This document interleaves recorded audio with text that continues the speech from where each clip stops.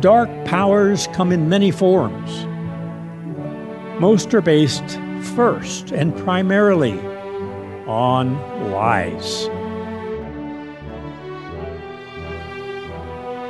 Brethren, we are no longer trapped by dark powers.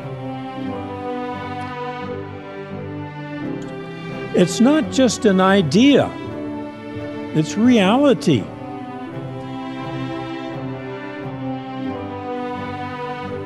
God does not want replicas. He wants varieties.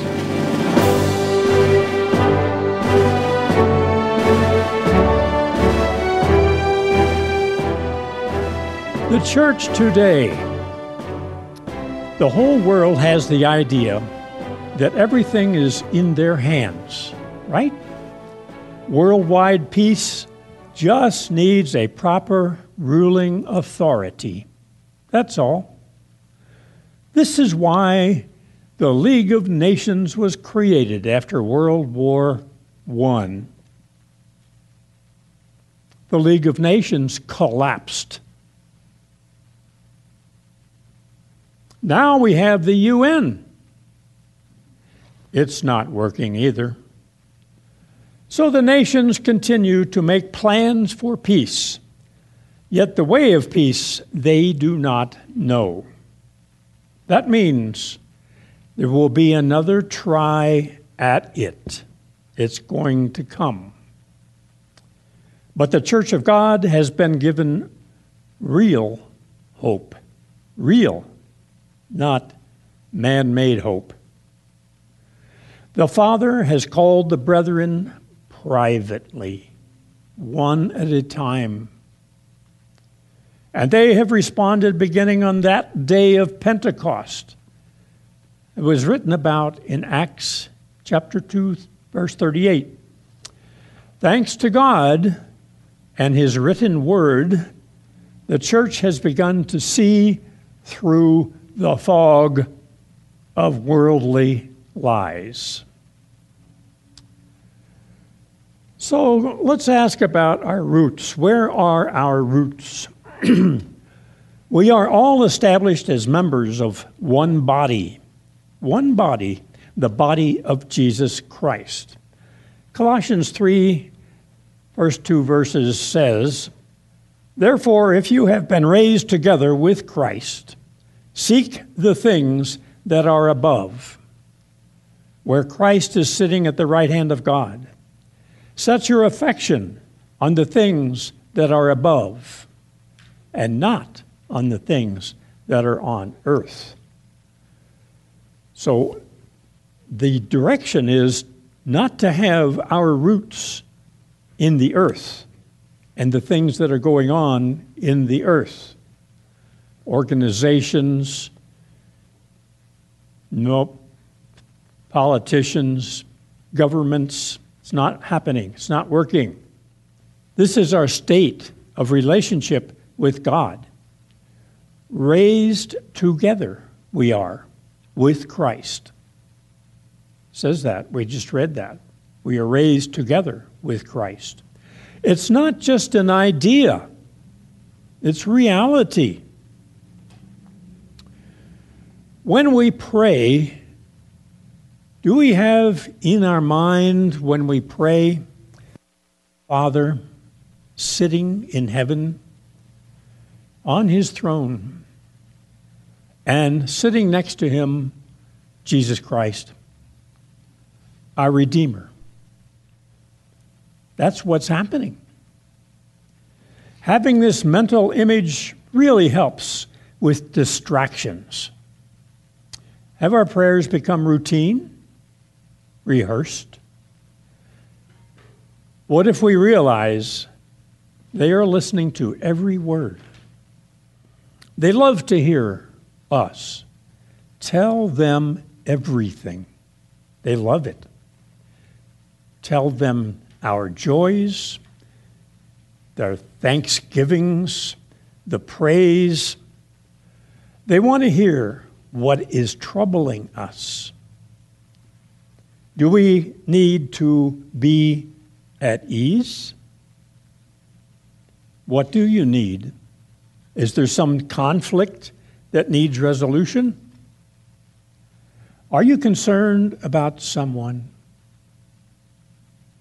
Have you told God about everything? There's plenty of time. And after you have asked, can you let it be in His hands? Because He heard. We have been raised together with Christ, right? And this comes with an attached benefit.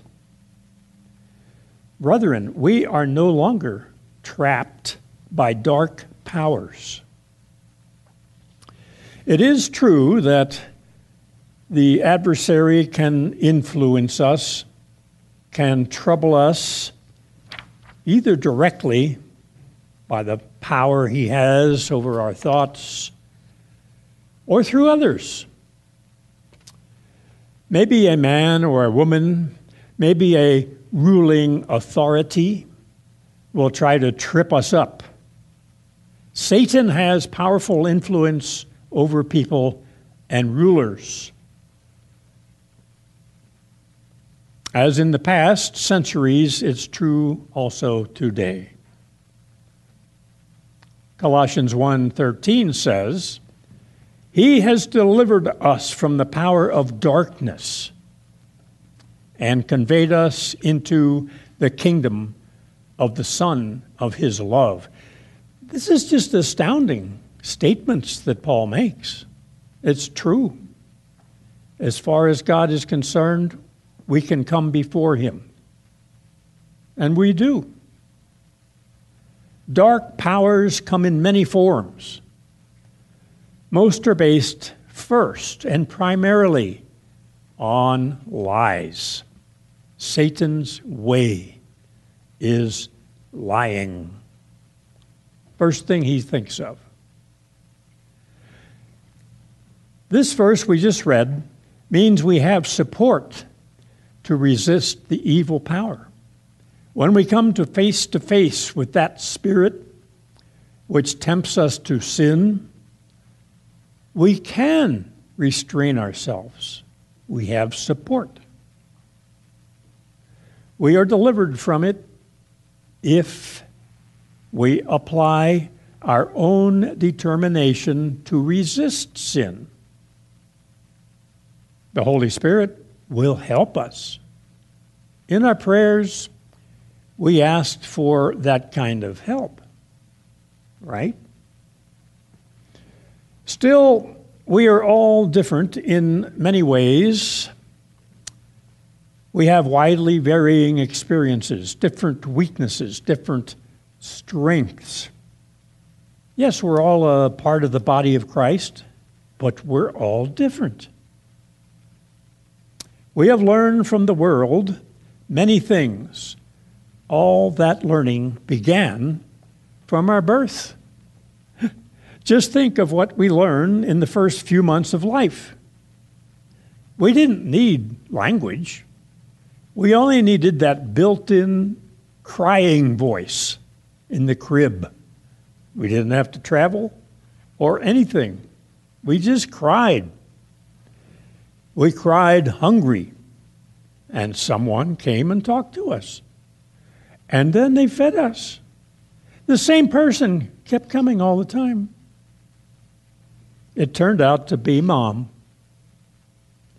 Mom was always there, but sometimes she took too long to arrive. So we learned to scream. It's a new technique developed on our own.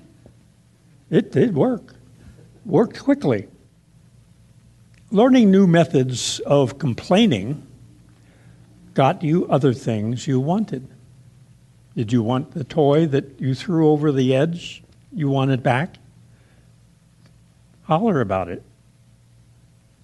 And this is when young'uns start to show personalities, built in personalities. We're born with them.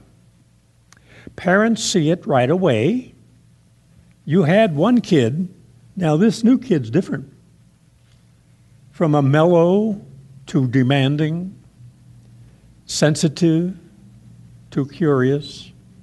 These basic traits are part of us from the beginning. At some point, parental authority suddenly appears. Here's where parental personality, parental personality, begins to influence the child. It's a deep topic of childhood experiences that contribute to what we become in life. So, everyone is different. God does not want replicas. He wants varieties. And He doesn't micromanage. He lets things happen and deals with it later because it develops our different personalities. Then there's bodily growth. Now, I want to talk about our growth in the body. It's the spiritual body I'm talking about. We did die in that water. We did start to think about the godly ways after baptism.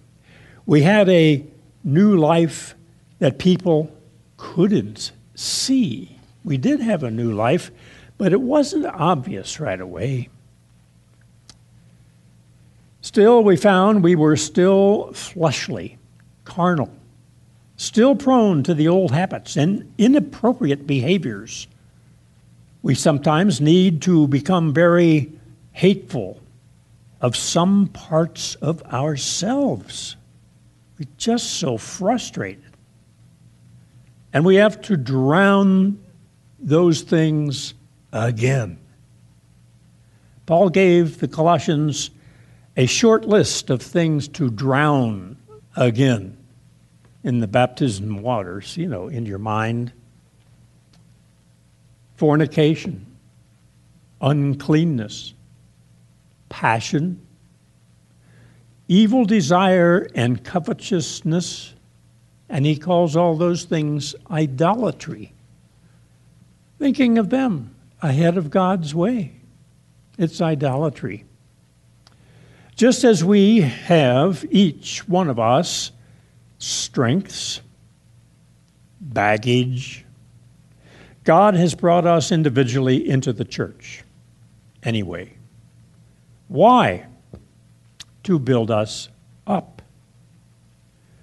No one of us understands our ultimate, ultimate functional place as part of the body of Christ. You know, there's a resurrection coming. How do we fit in after that? We don't know. We have to accept that. We are just dealing with our own life right now. Somehow, God will see to it that we are ready for our change. So, troubles will come.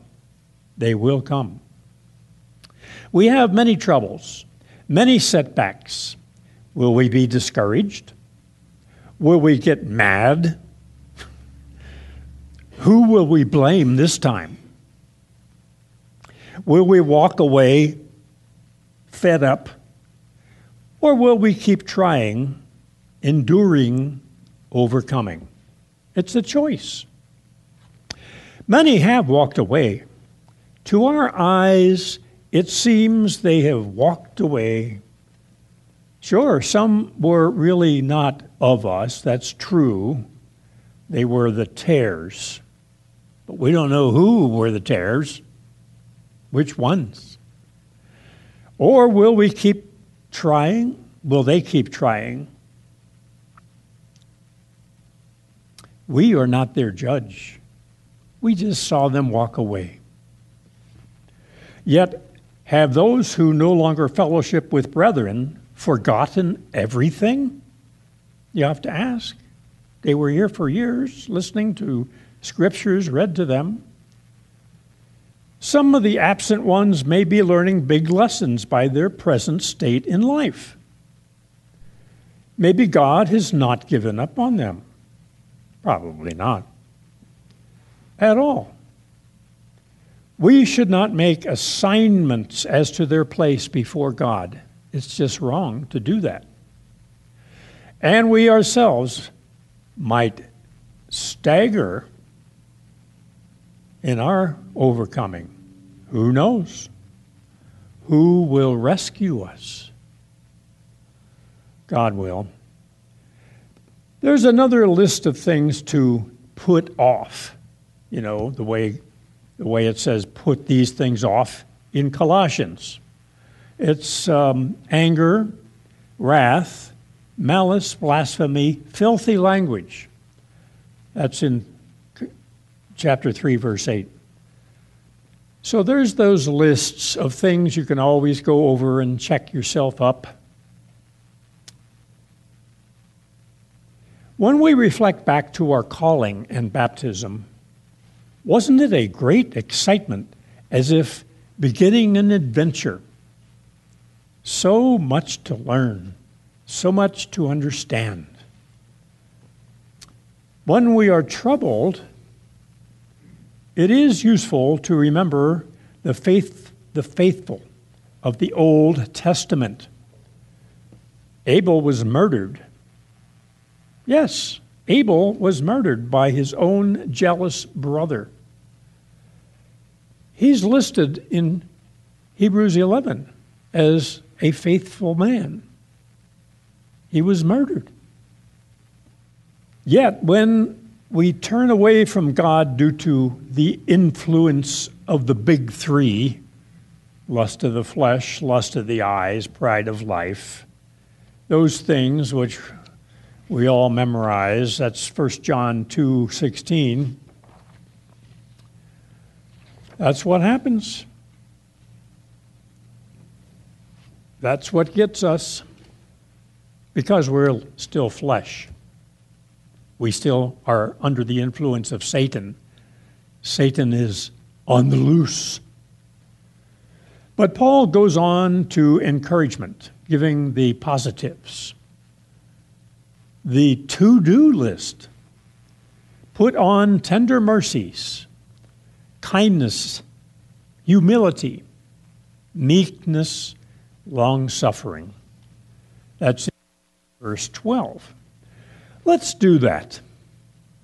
I know it's a list, it's just a list, but we can take each item one at a time, analyze ourselves, not the other guy, ourselves, write down our shortcomings, work on it, give it time. It takes time. Look how much time God gives us. Yes, we are all different, and that is what God wants. He has called all of us different folks. You see, we're all different. He's called us anyway. All the different materials are needed to build a house, for example. And this example is given in Ephesians chapter 2. It says, Now therefore you are no longer strangers and foreigners, but fellow citizens with the saints and members of the household of God. Household of God. I love that phrase.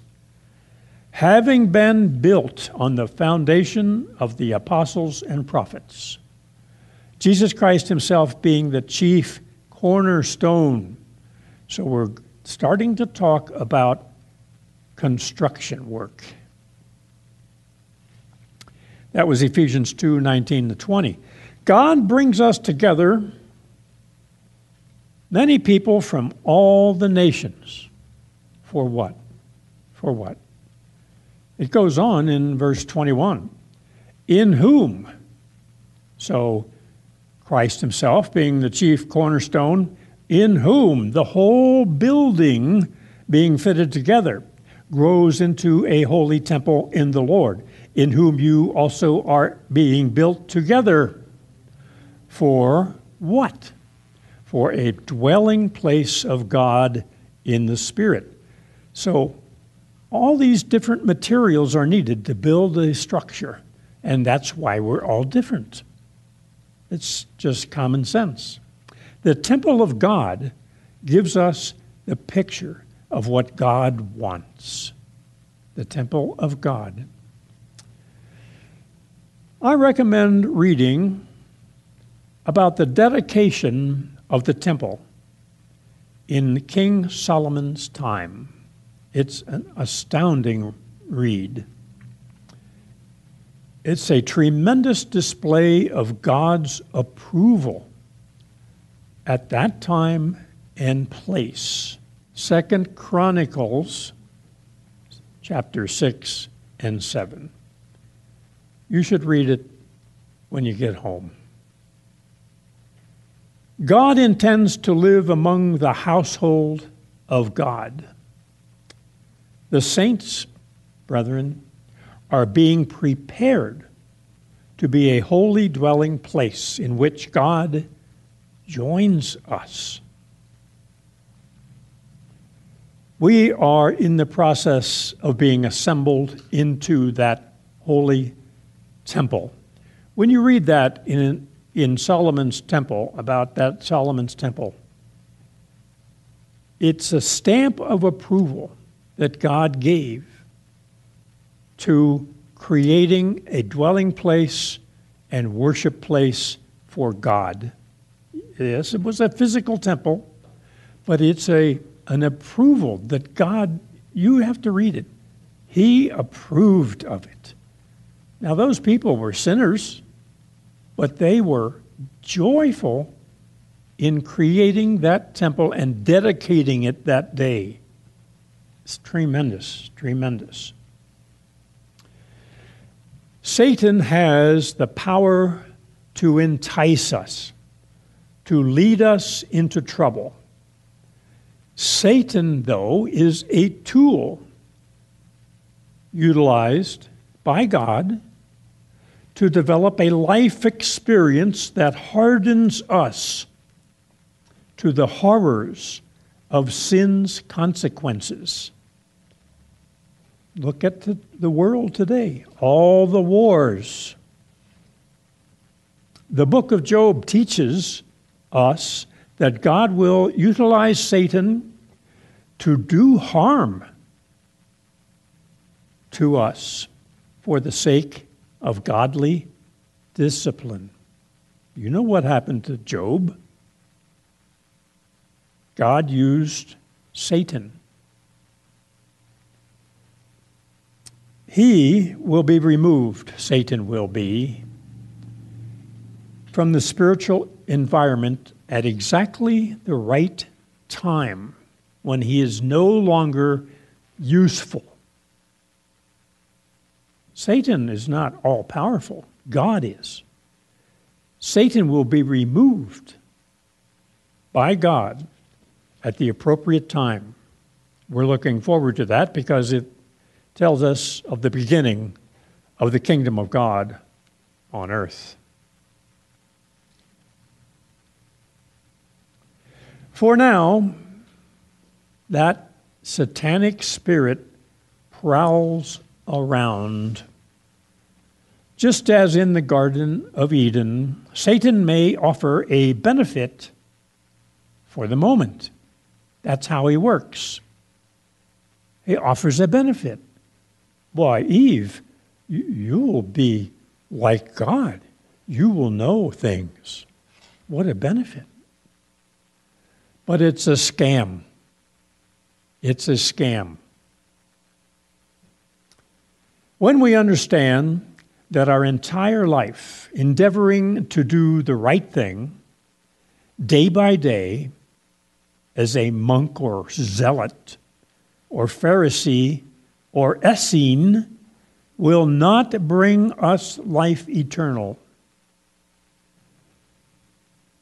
That'll be a good day when we realize that is useless, that kind of life.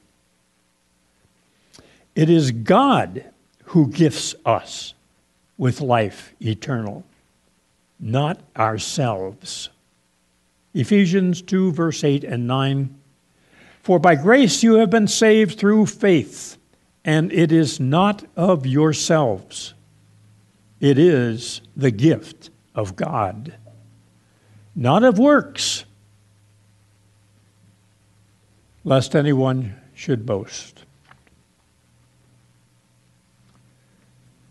Abraham visualized that city in the distance because he knew the promises. While he was living in the foreign land, he visualized that city.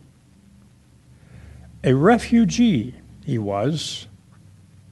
He had no idea what was coming next, but he was obeying God in faith. That was his faith. He did what God said. What then do we have? Faith. That's what matters. And we have evidence of that faith when we look at ourselves. We hope we have that evidence. The works we do by faith will determine our reward. There are variable rewards, you know that. If you have forgotten, turn to 1 Corinthians These verses are the basis of what I'm saying today. Speakers in the church of God must base their words on the written word of God. Everything else is dung. 1 Corinthians 3, verse 10. According to the grace of God which was given to me as a wise master builder, I have laid the foundation. So he's building, it's the building a building for God metaphor. And another builds on it. But let each one person take heed how he builds on it. It means every one of us individually take heed. For no other foundation can anyone lay than that which is laid, which is Jesus Christ.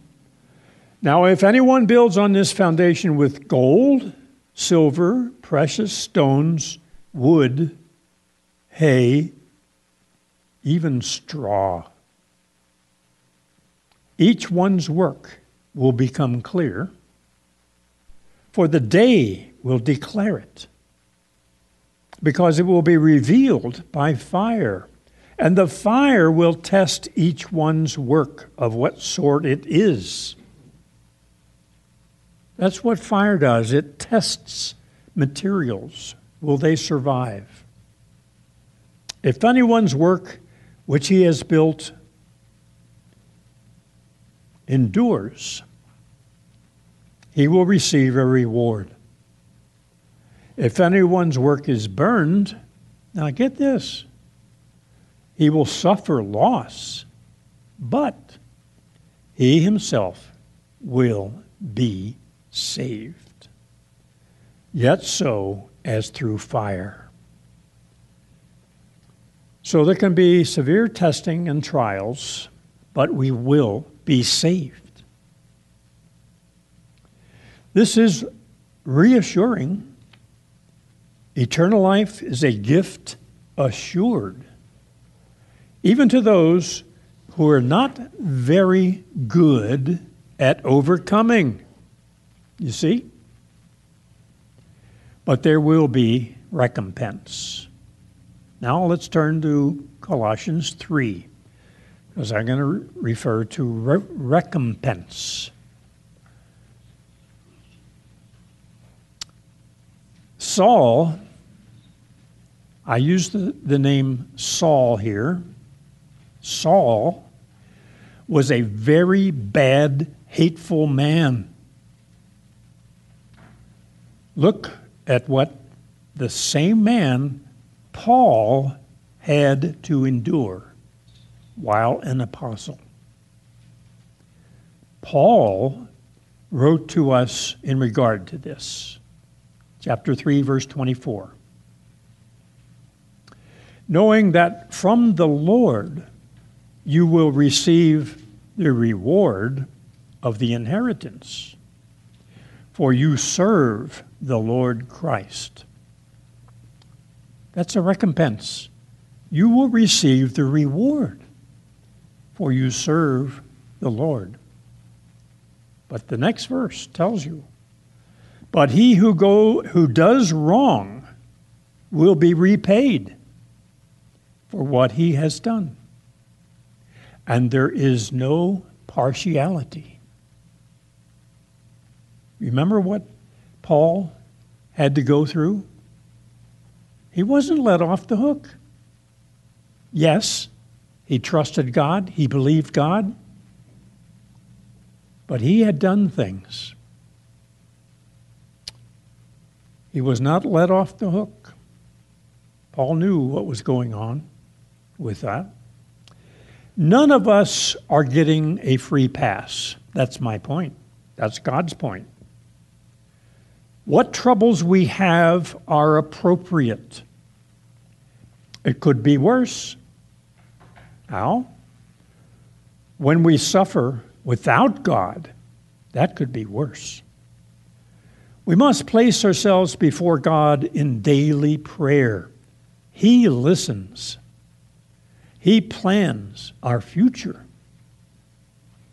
No matter what kind of baby we were, and in spite of all the nasty things that were done to us, and the nasty things we did to others along the way, after we were established a new creation at baptism, with fits and starts, God brought us to today. And the kingdom is not here yet. So there's more fits and starts to come. Depend on it. Today we remain in a corrupt Babylon. Forces are all around us with powerful distractions, entertainments, and worldly benefits. That's how the adversary works. Satan hates us more than anything. He does. Each one of us will be tested. Is our personal time of testing over? Is our life going to be smooth sailing from now on to the resurrection? We do not know, do we? Remember, the liberty God allowed Satan with Job?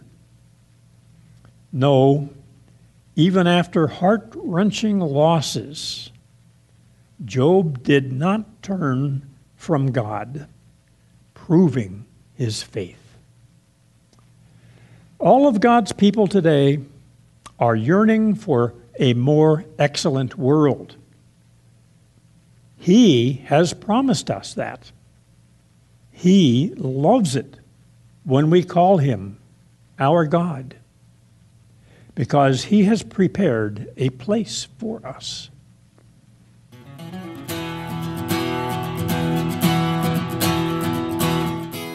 You have received this information based upon the Word of God. Every additional topic concerning the truth, which originates in Scripture, builds understanding leading to salvation. We hope you will personally review the Scriptures cited in this presentation. God will teach you if you ask Him. Until next time, good day.